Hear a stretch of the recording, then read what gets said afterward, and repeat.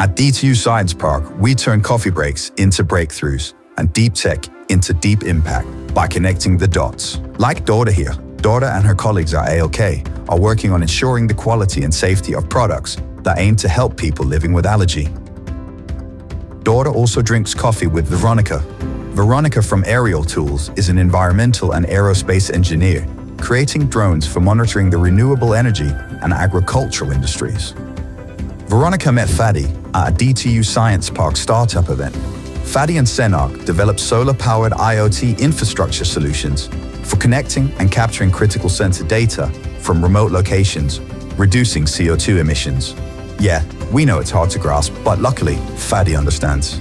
At DTU Science Park, we create the space for deep tech innovation, supporting Fadi, Veronica, Dorda, and over 5,000 like-minded professionals by connecting the dots.